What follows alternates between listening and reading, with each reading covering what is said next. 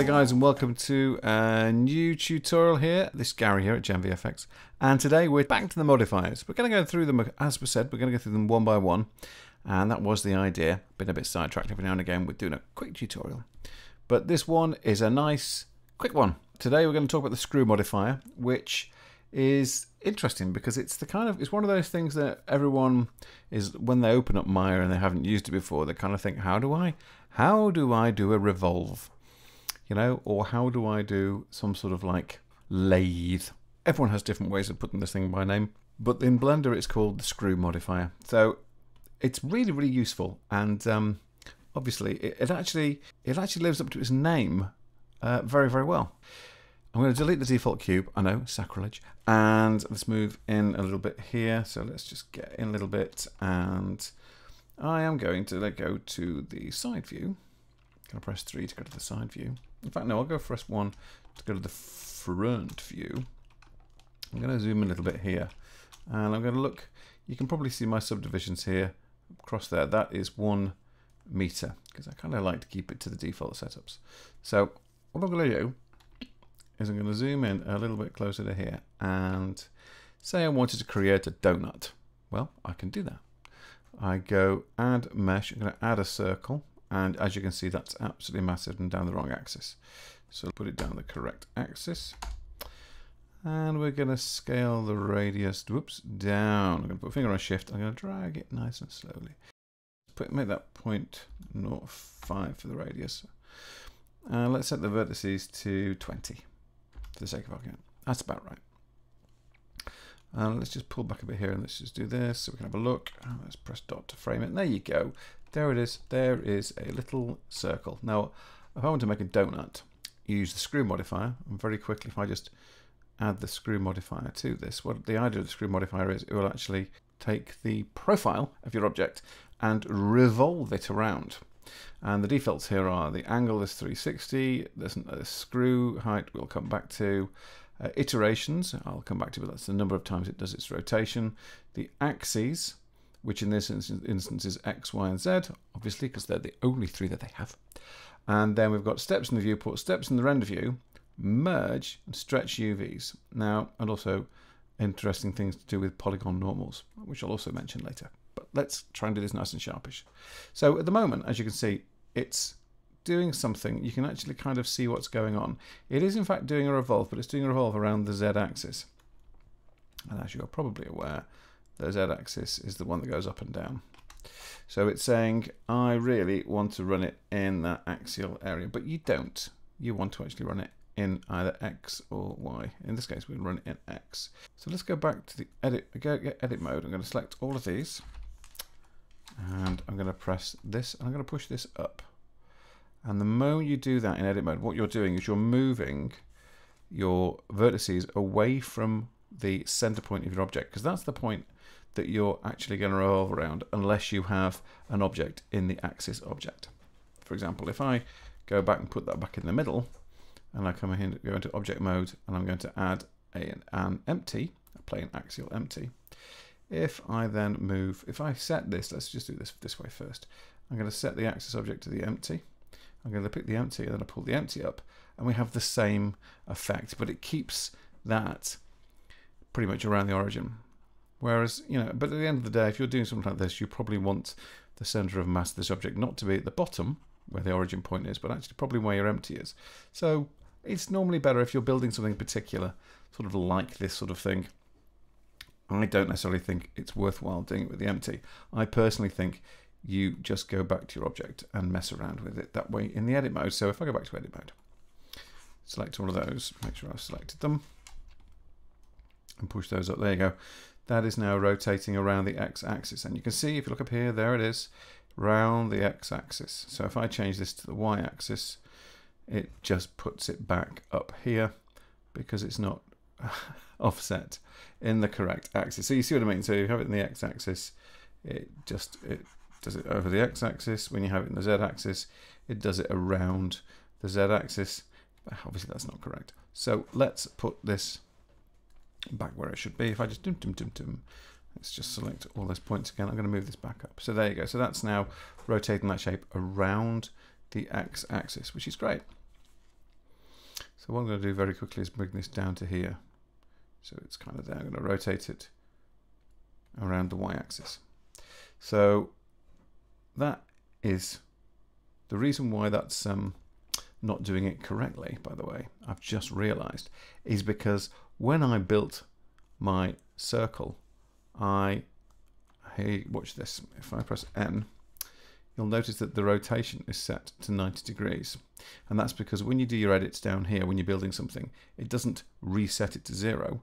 It just does it as it is. It puts those values up here. In order to get this correct, I need to go here, object, and go apply. And I'm going to put rotation and scale. And then immediately now you'll see that this is now wrong because it's now trying to rotate it around the y-axis, which it shouldn't be. It should be around the x-axis or the z-axis because the z-axis is the one that's up and down, as you can see. Uh, z up in Blender, Z up in Blender. And if anyone says it's only in Blender, it's not. There's other software you can have Z up. And also you can reset your axes to be Z up in pretty much everything if you look hard enough. So here's our little donutty thing, all very nice. And if I just stick on the wireframe, you can see we have uh, 16 in the subdivision steps. So I can obviously take this up or down. So let's say I'm going to set that not to 103, that's ridiculous. But let's set it to 32, less ridiculous. And I'll set the render steps to 64. So you can see on that, in fact, if I take this down, I mean, it is, it's, it's self-explanatory. I set that to 16, but when I render it, if I just press F12, and now you can see there you go. See it's rendered it with 64 subdivisions, so it's a lot smoother. And again, you know, if, if you need to do this, fine. I think sometimes you obviously have to when you've got very, very, very, very heavily dense stuff. But for something like this, this smaller, what I'm going to potentially use it for. At the moment, if we go to the front view, you can see that this is, it's actually 0.5 in each direction. So it is essentially one meter high. And we're going to use that in terms of, it's one meter diameter on the circle, if you think about it that way. And we're going to need that for the next part. So you can generally make your donut shape, something like that, that's fine. Or even if you wanted to say do, in fact, I'll do that as well in a second. Um, no, do you know what? Let's do it now. The other main reason why people want to use a screw tool is because they want to create things that they uh, do that whole sort of revolve thing that you get in other pieces of software. So let's add in a, a mesh. I'm going to add a single vert. I'm going to add a single vert, and there it goes into the center. I'm going to move it up to about there. I'm going to extrude it out to here, and then to here, and then I'm going to go up to here, and then to here, and then here, and then here, and then back down to about there, and to there, and then back again to there. Now I could have used um, the lock, the snap to lock onto the vertices, but yeah, whatever. So there you go. So say you've got a shape like this, it's an edit mode object, and you then stick on the screw modifier, you start to get bottles and things like that. So yeah, and then it's like, well, that's fine. Um, I want to go and do some more stuff to this, this uh, shape. I want to add. Let me just say, I want to add. I want to subdivide these vertices. I think that vertice, and I should be able to uh, bevel the vertice, and by doing that, I get more points. And then I can decide exactly how many of those I want. And then I can do the same with this one. I can then uh, go to the vertex and bevel the vertex. And there you go. So you, you, you can you can reiterate to your heart's content. It's quite handy. Just take the two uh, vertices there and then go uh, subdivide on the edge and you get a new one. And we go, let's just do that. Oops, just deselected. I'm just going to do that again. I'm going to uh, subdivide again and I'm going to subdivide again. So you've got that sort of complete control to be able to um, model you know different uh, different types of the say you know different uh, versions essentially of an object. You can just say right well I've got this this version here this iteration maybe and then you do a duplicate and you just say on this one I wanted to go in. Or you can just you know mess around with all sorts of things. So you can create tires and whatnot by just manipulating vertices and getting that kind of shape that you want on that edge. So it's very useful for stuff like that. But let's just go back. Let's just take this back, back to our donut. Our little donut. Hopefully there'll be enough undos. Yeah, there we go. And as I was saying, this is one unit high. So let me go to edit mode. I'm just going to select this and go all. I'm going to push this up so it starts at zero pretty much on this little zero edge, and then there we go. Now, it's not called screw for any stupid reason other than the fact that it also does uh, a screw shape. So if I push that up 0.1, because that is inside of one meter, it's not actually one whole meter, it was actually one tenth of a meter. You can see there from the scaling. So I can I can put that up, and in the you can still increase the angle if you want to. Um, it's one way of doing it, and then increase the screw. Or you can say, right, well, I set that screw to one, and then I'll set this to 3600, and whoops, and then, yeah. Now we've not made a few normal steps in the viewport. Um, but it's a tiny bit messy doing it that way. What they've done is what Blender, what the people at Blender have done, which I far prefer. Let's go back to the front view again. Let's go to Z4. Go to edit mode and let's move this up. Let's go. Well, let's just do it the the, the proper way to do it, which is uh, GZ uh, 0.05 because it's much one tenth of a meter, Gary, not a meter. Um, and then we can, and yep, that's fine. That's in the right spot. Let's just look. Uh, what we can do is we can say right, set the screw to 0.1, so it does it exactly on top of the other one, as you can see. And then we can say right, and now I want how many of those? Well, let's just increase the number of iterations. So much easier and it looks so much nicer. And it does mean that your steps are per version rather than per angle. So every single iteration every single version has got the same number all the way up which is cleaner because you're not trying to sometimes if you just get the you're going for the right height so you've got the right height of what you need you don't have to try and think oh well I need that that number of the angle divided by 360 multiplied by uh, uh, so many steps in order to get the amount of actual vertices which I need so they all match up all the way up. Uh, yeah, no, you don't have to do that. So that's really useful for things like springs. In fact, if I just take this a little bit higher. So what you can do with all these iterations on top of each other is you can actually animate the screw itself. So if I was to go here, let's just go here and frame one. In fact, let's just make this a much smaller value just for the sake of argument. Otherwise, I'll be here forever. Let's just set that to 50. Okay, and let's zoom into here. There we go. There we go. Lovely. And I'm going to set, let's just reduce the amount of iterations to 12.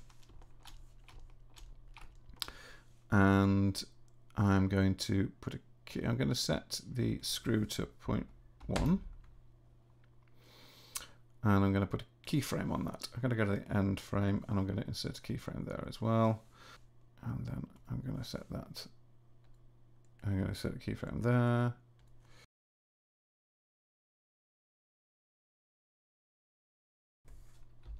Point two.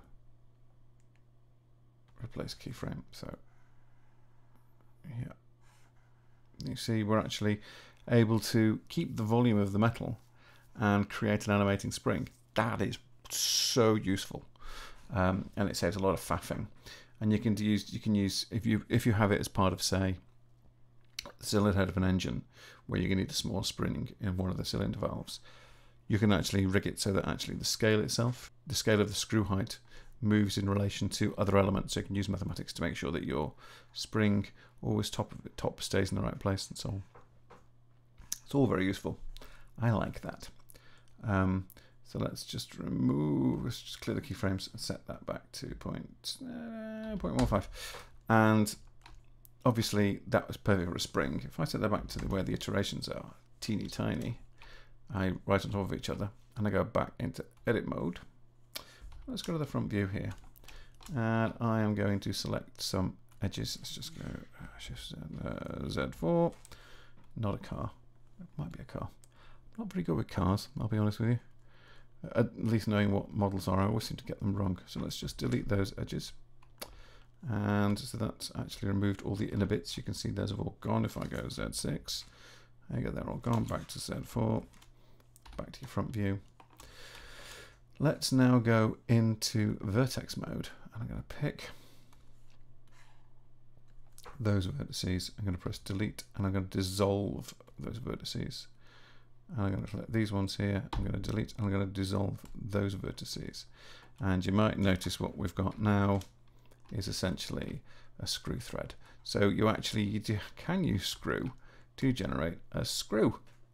Um, once you've got what you want, of course, you can you know increase the iterations on the steps and whatnot. Um, say 40, something like that. More than enough, I would have thought, really. And then you can apply it, and then you can finish it off by putting stuff on the top and the bottom. All very useful. And then, of course, you can also use merge, uh, which means that all the all the vertices which are on top of each other will actually merge to sing, single points rather than being uh, two separate lines together. And of course, there you can also set a threshold. Um, all very useful. All very, very useful. We like that. We like that a lot. Um, so that's, yeah, that's that's the screw thing. That's great. Now, what I want to talk about the normals here. Obviously, the smooth shading. Everybody wants that. Everyone wants their faces to be output smooth rather than flat shaded. In fact, let me just do a smooth shade on this. Let's try and do that again. Smooth shade. There you go.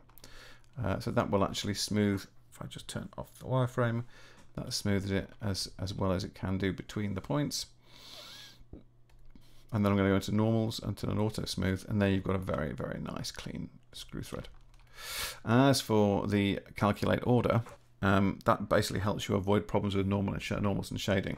So it's a good idea if you're using a mesh to flag that up it'll make it nice and clean. You don't need it for a curve. So if you've built it, if you've drawn a curve and you use the revolve on that to make a solid shape, um, that's about it. And the other one, of course, is flip normals, which unless you, in fact, let me just do this. If I go in here and I put on face orientation, everything's blue. I press flip and everything's red. So you can see it just basically flips the normals. And occasionally, that's not a bad thing when you've got it when you made a mistake, because we all do it. Um, and and I've got to say, um, you know, it's honestly, I think it's a very, very good little tool. Listen, please leave a message, leave a note, um, make a comment, contact me via here, put a comment here, put a comment on my website, genvfx.com. And if there's anything that you'd like to uh, know about or learn about or have an idea that I could do, please let me know. I'm I'm very easygoing. If someone sends me a fantastic idea, I will do it to the best of my endeavour just to say, hey, yeah, you could do that, do that, do that, yeah, and I will. Um, listen, guys, thanks again for watching. Thanks for watching all the way to the end. And uh, I hope you have uh, a good one, and I will speak to you soon. Take care of yourselves, guys. Thanks. Don't forget to subscribe, by the way. Bye.